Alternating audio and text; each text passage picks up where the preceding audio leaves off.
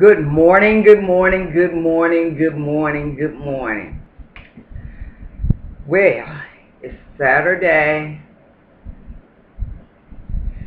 And I just wanted to say that I am so glad that trouble does not last always. I thank God for another day. No matter what comes my way, I thank God that He has awakened me. I thank God that He has restored my strength. He has restored my joy. He has restored my peace. He has restored my faith. Yesterday with my laying down, I was a little puzzled and a little unsure and a little fearful. But I thank God this morning, I feel okay. I feel good. Um, that's why I like to encourage people that are suicidal, are going through depression, are bad breakup in a relationship, is to hold on because we don't know what that next day would bring. We feel it and caught up in so many feelings and emotions that day and in that minute and moment.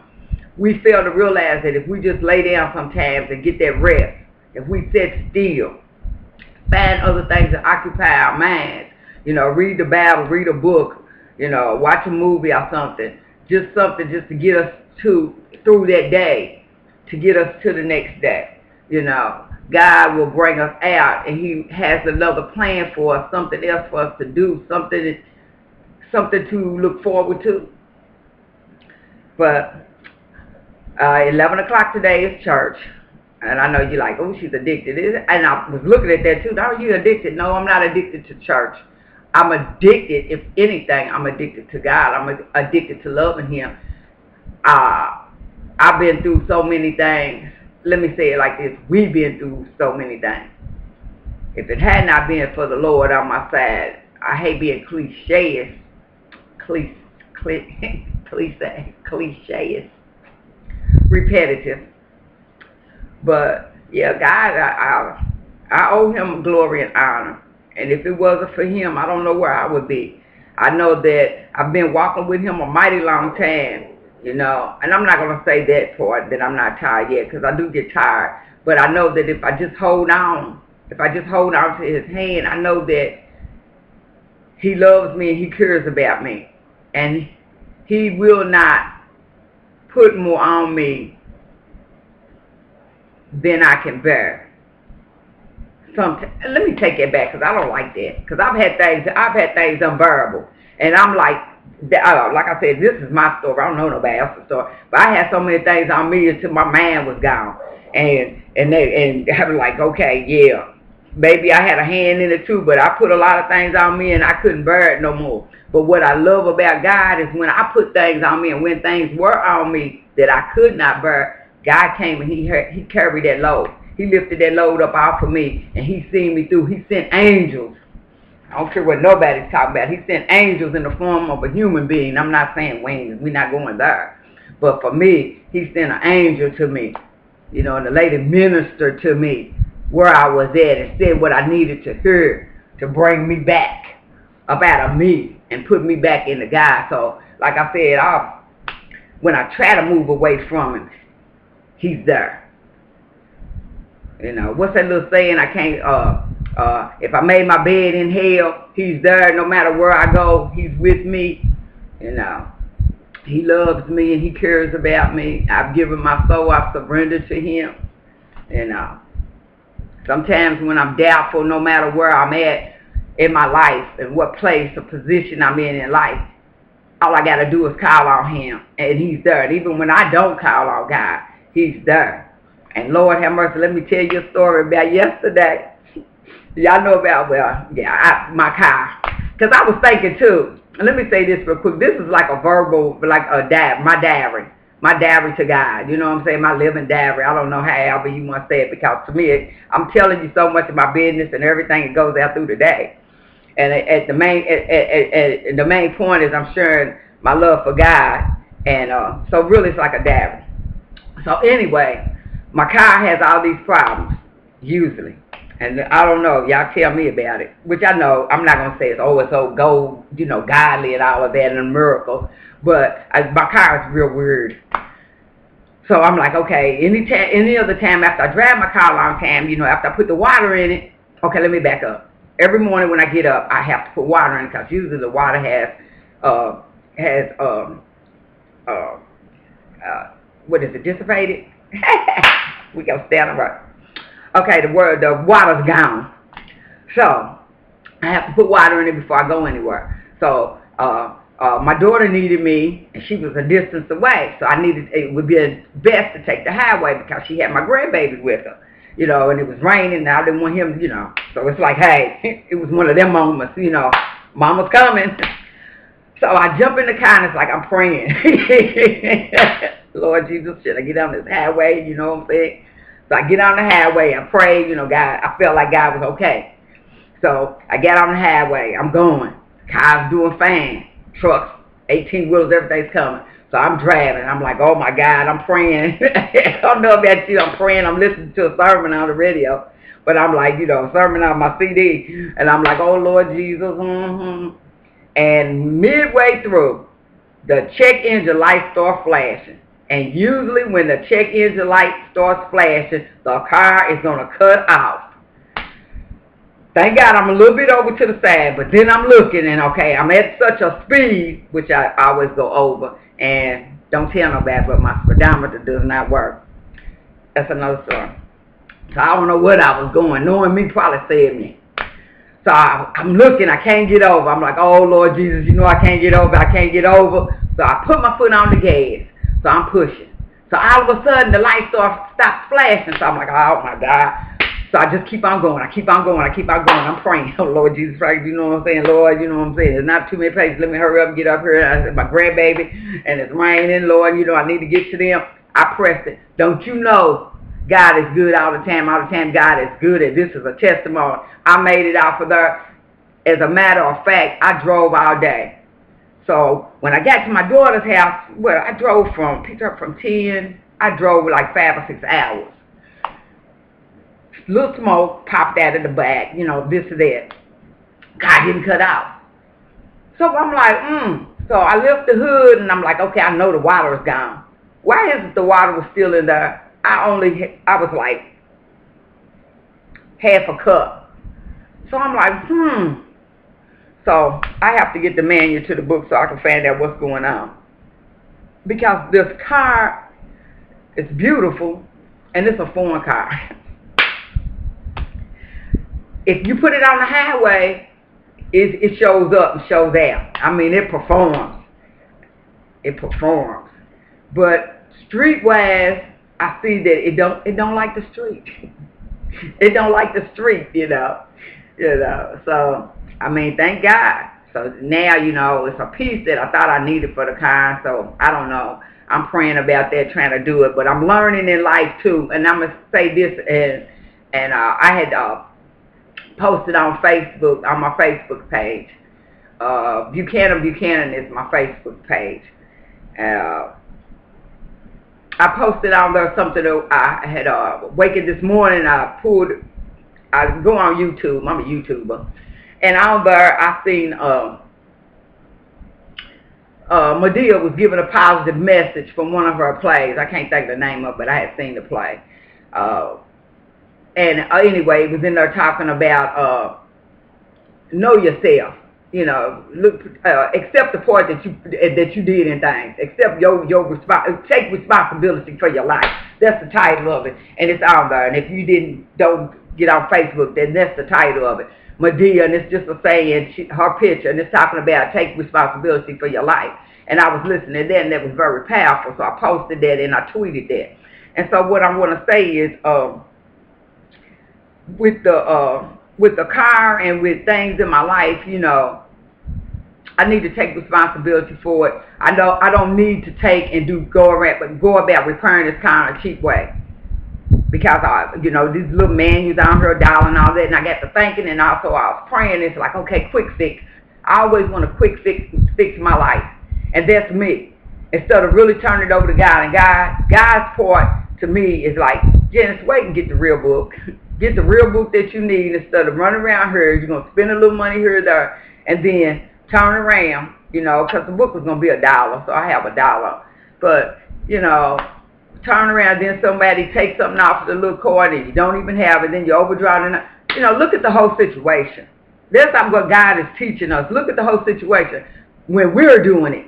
But if I just sit back like I'm doing now and give it to God, look what God did. He showed out because I needed to go to this job and I, it's a long way away. And I was like, mm I'm not taking that. And still I'm leery. You know, I'm going to pray some more because I know how evil can do things too. But I, I don't know if I'm going to trust the guy. I think I'll do the tort thing. I don't know. But like I said, you know, uh, it's just beautiful. How a lot of times I can sit back and I'll try to predict life. Ah, well, you know, yeah, I should do this. I'm gonna go the cheaper way. I'll be out trying to fix something. And all along God saying, trust me, have faith in me. You know, oh ye of little faith. Have faith in me. I'm not going to give you something cheap and no good. I'm, I want what's best for you. Just trust me, believe me. I'm going to give you the money. I'm, you're going to get the money to get what you need if you trust me. But when you want to go out here and do the dollar thing, that's you, Janice. Then you want to complain. Then you want to stand up and complain talking about, oh God, what did I do? Caffeine free pop. Oh Lord. But I just wanted to share that with you how how easily we can take our own our own will. We'll take our will back so fast I know with me, I take it back so fast. And now, since God has had me had me set still, that's what's beautiful about sitting still. I'm talking about I'm still. I'm still. You know, and I was complaining about it yesterday. You know, seeing other people seem like they're enjoying themselves, but I fail to realize that I'm just seeing the outside. I don't know what's really going on on the inside. You know, I don't know what people have been through to get to that place where they're sitting there and they're burning their little fires on the porch I don't know. I've seen that little bit, but what was the total outcome? You know, I don't know. Did they finish? Did they end up drinking? Did they end up arguing? I don't know. I just looked at a little bit, and that's what we often do. We look at a little glimpse of somebody's life, and we think everything is perfect over there. And oh, look at my life. My life is in disarray. But that's not always true. We can't look at a minute of someone's life I can't look at a minute of someone's life and think, oh, everything's hunky-dory. The only way you can look at someone else's life in the same way someone can look at my life, they have to be on my journey. They have to know my journey. If you don't know my journey, that's what the old people say, what I love about older people, the old, old, old people back in the day. You know, if you don't know my story, you don't know my testimony. You don't know what I've been through. That's why I love old songs compared. I like the new stuff, but you know, uh, break every chain and people like I like all that type of thing and uh, words. I love all those songs, but I love the old. Give me that old time religion. I'm a soldier in the army of the Lord. You know, I had a talk, a heart to heart talk with Jesus, sitting down. Precious Lord, take my hand. I haven't heard Precious Lord in so long. Lord, I have not heard that song. I love that. You know, I I I, love to to be in in, in church. I I love to be at home when I can, when I'm home and I get into it. But something about sometimes being in a church that just brings about a lot of emotion and being in church around other believers and hearing precious Lord, take my hand, lead me on let me stand. I am tired. I am weak. Oh, Lord, Lord, Lord, I am worn.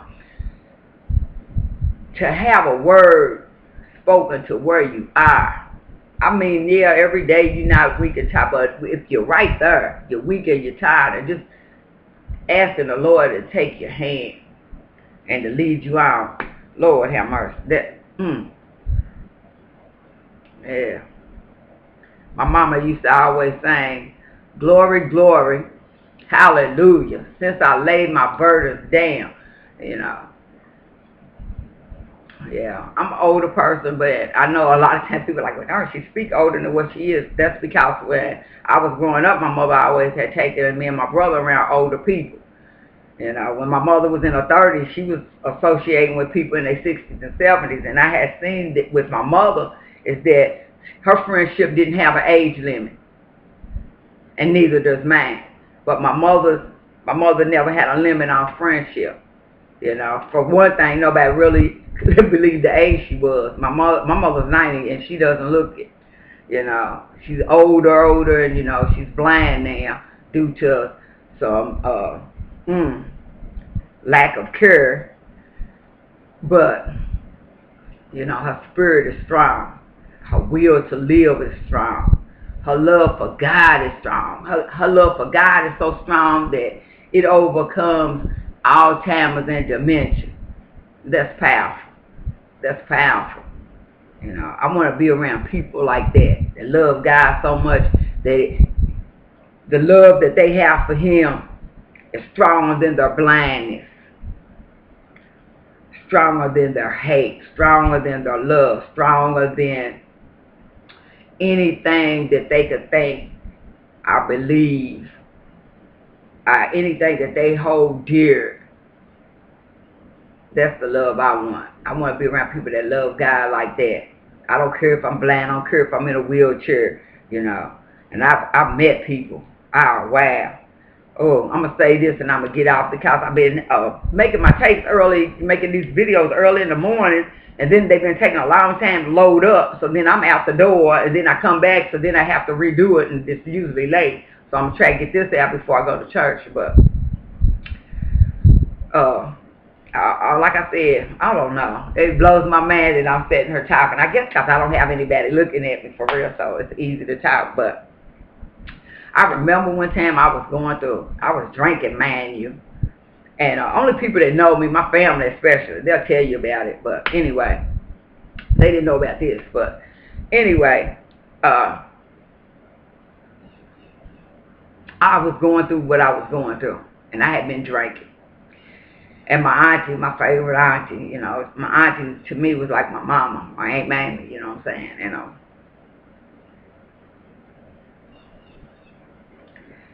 And uh, she was ill and she needed to eat a particular type of food. She needed some baked fish. So I'm gonna speed this up because when I talk about my auntie, you know, I get a little emotional. So I'm gonna speed it up anyway, she needed special food. She needed some baked fish. So I went to uh, Captain D's to get some baked fish for her. In the process, I think they said they had to cook it or something. You know, I had been, I had been sipping and tripping. So I, I was waiting uh, a little bit. I know something about I was waiting for them to do the fish. So I think I ended up getting the fish. And in the process, uh, when I first went in, the guy was in a wheelchair, so I held the door open for him so he could go in. So after that, when I was when I completed, I had received my order. I was leaving out, and I think I helped him go down the little walkway or something.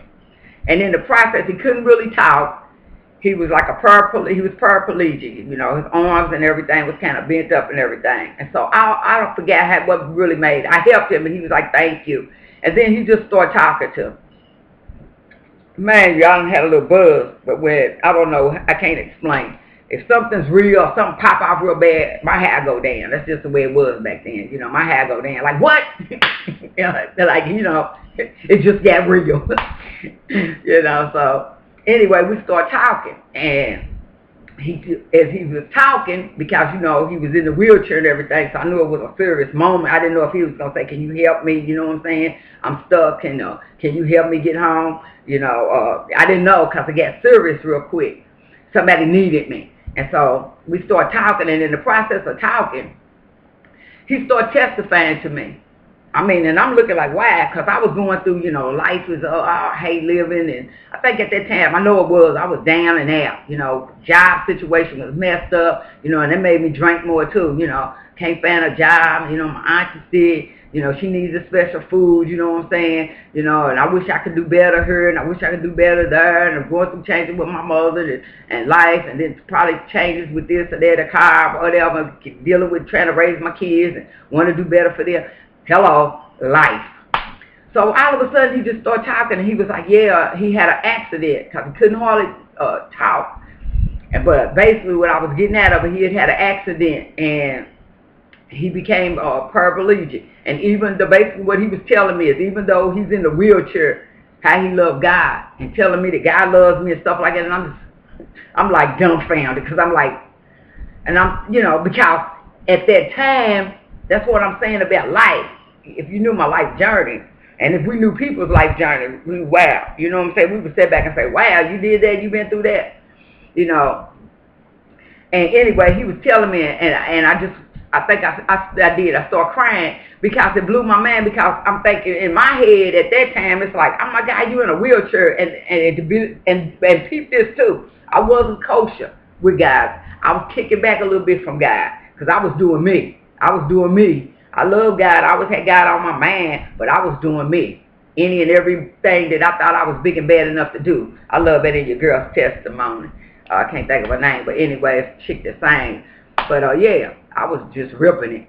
And but for him to say that, it brought me down and it humbled me because I'm like, here's this man. I'm going through the things I think I'm going through, and here's this man in a wheelchair, paraplegic, can't move his hands. He only can move the little gear stick, stiff uh, stick on his wheelchair, and I'm complaining about my life and one that probably in my life. But this man is in a chair, and he's telling me about Jesus. You love God, and you like that. You're not blaming God, because I did. I asked him, I said, you're not blaming God because you in the wheelchair? He's like, how can I blame him? And he was saying something. He said he don't blame God. That was the whole part of it. He said he don't blame God. He said, because I'm still here, and I still have life. And I was like, oh, man, I'm talking about powerful testimony, you know. And so those little, little, uh, little tweaks, you know, those little tweaks that God would inter intercede in my life and keep me going.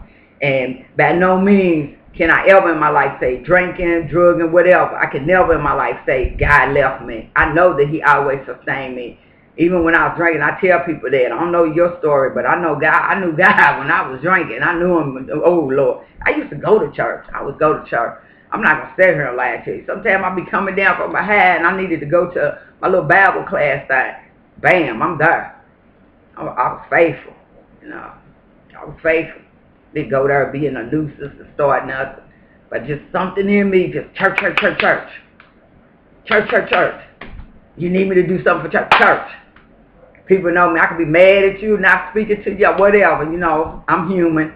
But somebody, they need you at church. What? Church lady flying through. Yeah, but um, it is what it is. You have a wonderful, beautiful day. I pray that you get out and do something godly. Help someone today. Go sit down and talk to someone. Visit some nursing homes. Visit some elderly. Sit down on a bench in a park or something and talk to someone. Get the kids together today. That would be wonderful. Take them to the park.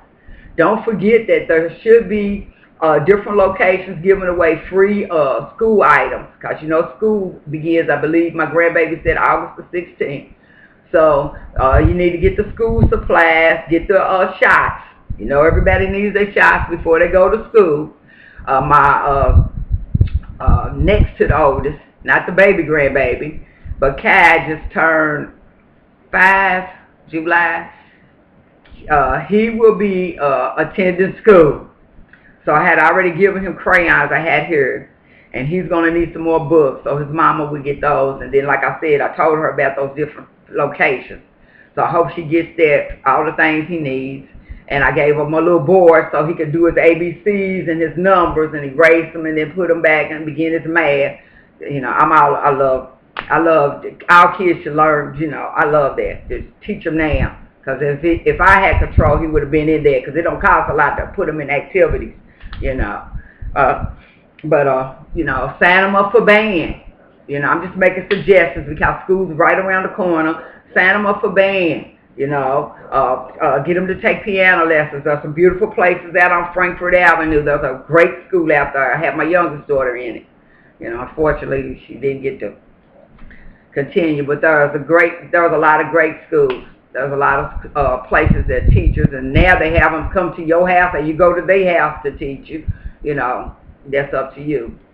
But yes, prepare for school so the kids will be ready. And please don't go out here. This is just my suggestion. Please don't go out here and worry about trying to get your kids no hundred and two hundred dollar shoes. You know, people weren't running around here getting ready to kill somebody so they can get money, rob somebody. No, it's not necessary. If you cannot afford those Jordans, you know, Jordan can afford George. Let him do it. If he's not donating to the community and stuff like that, why are you running around putting some uh, $100 $200 shoes on, standing in line waiting for some shoes to come out? Please. Like I told you, my kids wore Jordaches.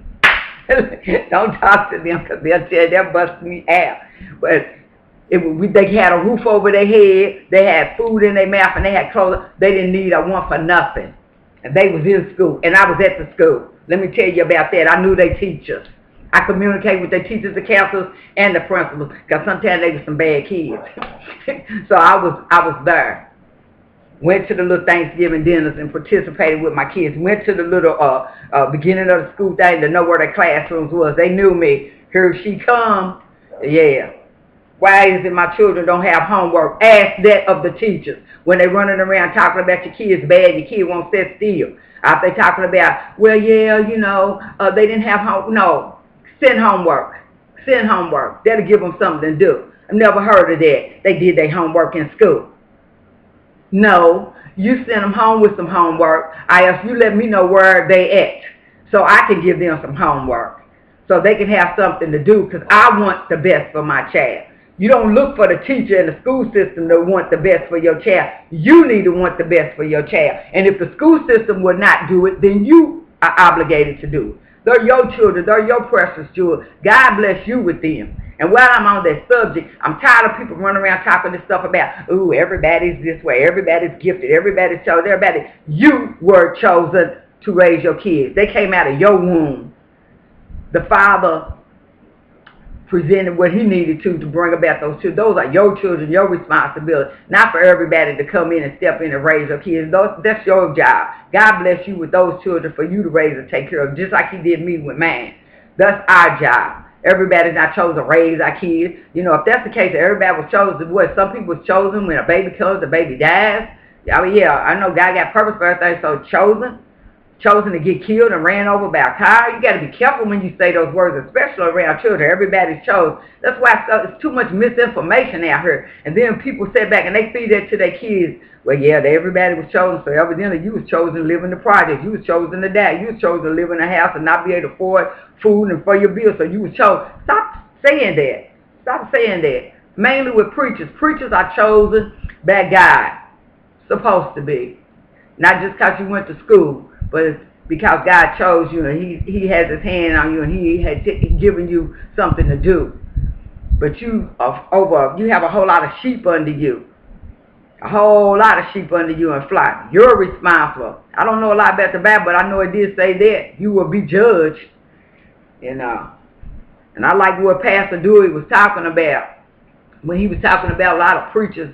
You know, we say, they say, and they give what they want to give. They tell people what they want. You better tell the whole Bible because that's why people are falling away. And that person that's over those sheep, that's not feeding them right, that's abusing them and sleeping with them and molesting kids and molesting, sexually abusing and verbally abusing women.